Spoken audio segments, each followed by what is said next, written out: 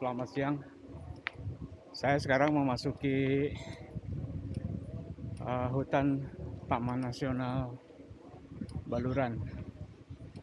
Jadi saya akan menuju Savana Bekol dari tempat tiket tadi di depan itu sekitar 15 km. Jadi jalanan cukup asik ya, kiri kanan uh, termasuk hutan sekunder tadi saya ketemu monyet besar sekali. Cuma mau difoto ngeri juga. Oke ini lihat jalannya lumayan bagus.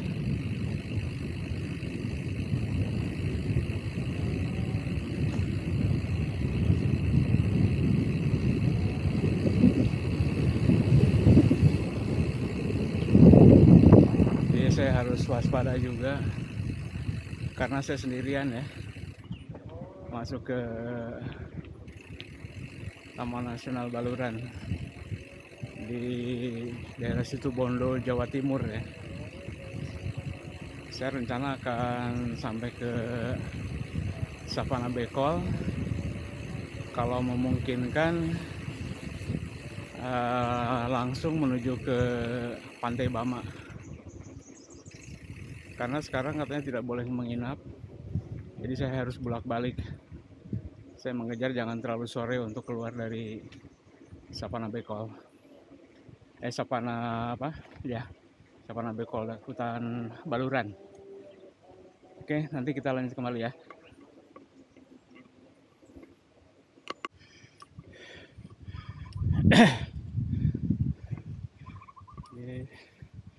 Ini sudah masuk ke Savana Bekol ya masuk ke Savana Bekol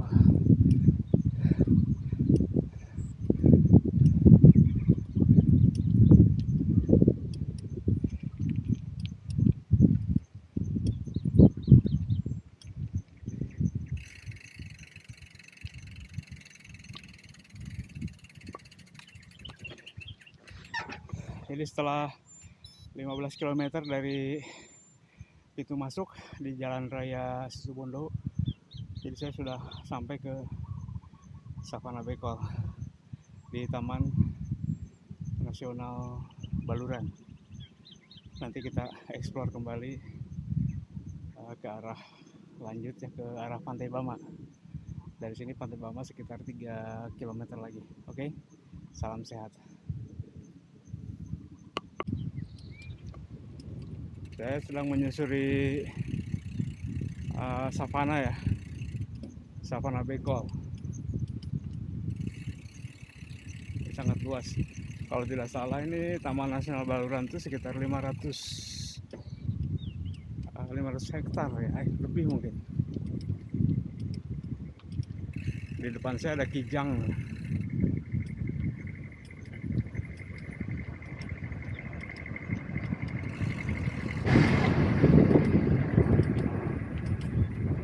ada kijang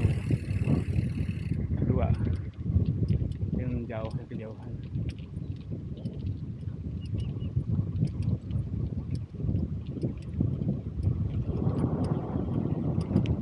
depan arah lanjut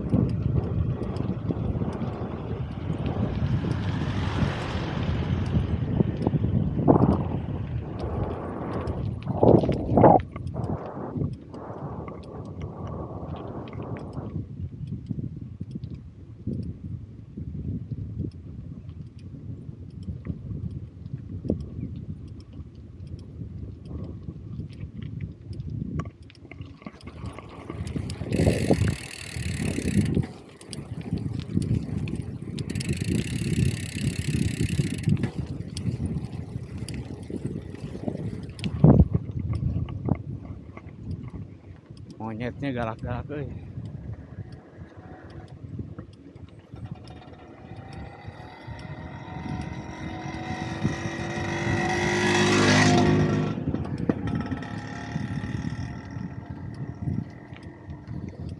padangnya sangat luas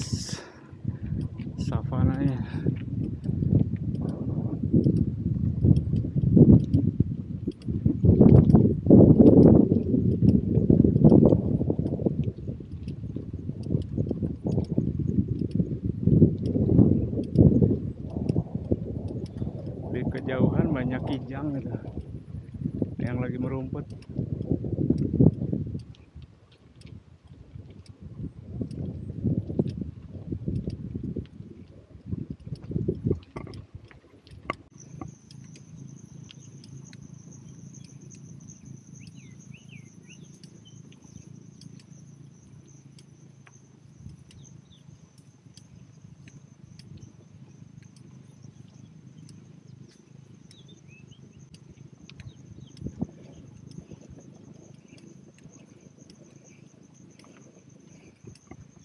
jadi sore ini saya ketemu kelompok rusa dan banteng ya di Taman Nasional Baluran di Padang Savana Bekol termasuk monyet-monyet yang jumlahnya cukup banyak juga. Jadi saya sekarang mengarah ke kembali ke Bajul Mati ya jalan raya uh, Situ Bondo.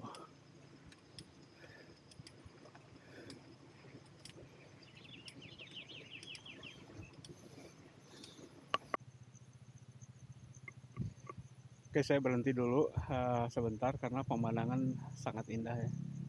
Jadi di tepi padang savana Bekol. Jadi kelihatan gunung, terlihat gunung ini sepeda saya yang setia. Jadi sebetulnya saya sekarang lagi mereview tas dan ini ya rak. Jadi kemarin saya dikasih tas oleh Bugi yang ini. Uh, handle bear bag. Jadi ada Bali Loop 400 km ini saya uji coba. Nah, ini pasti kedap air karena ada seal sheet yang kemudian slatingnya pun anti air.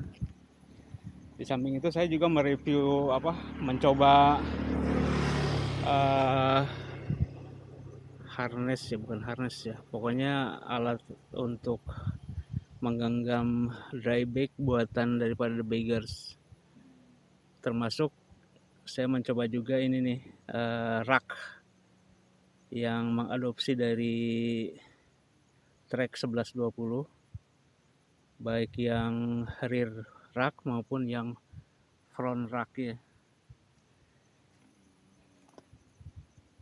Jadi saya sekarang uh, tetap memilih dengan style bikepacking dan ini pun gear yang saya bawa terus di review uh, mana yang lebih ringan, kecil, dan multiguna sehingga cocok untuk uh, bikepacking style. Jadi saya sudah tidak lagi menggunakan bike touring style. Tapi nanti ada semacam evaluasi kira-kira style apa istilahnya gear yang yang mana saja yang harus saya uh, apa istilahnya perbaiki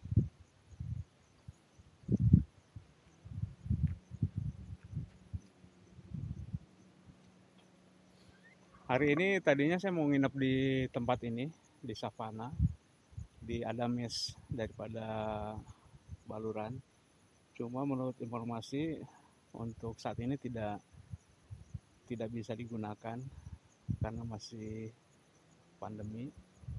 Jadi saya akan keluar lagi dari Savana Bekol atau Taman Nasional Baluran untuk keluar karena besok harus melanjutkan perjalanan mengarah ke Surabaya untuk terus melaksanakan uh, program yang memang sudah dicanangkan uh, Songo ya.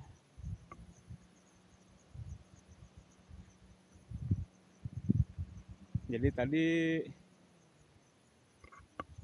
saya menemukan atau bertemu dengan kelompok rusa termasuk rusa jantannya yang tanduknya sudah sangat besar. Kemudian ada banteng di pinggir jalan sempat saya foto juga. Dan mungkin ratusan atau ribuan monyet ya. Kita harus hati-hati karena pada waktu 2019 saya ke sini jadi ada tas yang berisi kurma di acak-acak monyet. Jadi tasnya diambil ke atas pohon. Mungkin itu sementara review tas dan rack uh, rock rack front rack sama rear rack ya. Dan terutama ini bugi ini isinya uh, apa isinya itu adalah jaket rain jacket kemudian ada fly seat dan perlengkapan untuk tidur.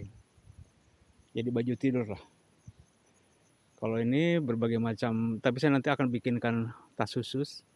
Ini ada charger ada kabel kemudian ada apa solar cell. Nah yang belakang dua-duanya adalah baju cadangan. Termasuk ada juga apa celana ya celana cadangan dan ini adalah kursi lipat. Kemudian di bawahnya ada center ada headlamp kemudian ada pisau dan sebagian toolkit. Karena sebagian toolkit ada di sini. Ini pun saya sepeda akan saya upgrade kembali.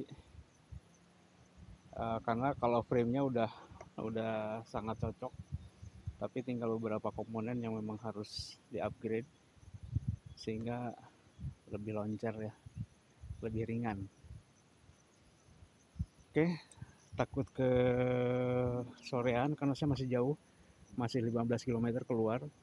Sekarang pukul 4 lebih 21 jadi jarak dari Ketapang ke sini setelah penyeberangan baru 45 km masih bersama Diki Barata Wirya dalam program Goes Wali Songo dan mampir di Baluran. Sapana Bekol Taman Nasional Baluran. Salam sehat salam goes tetap semangat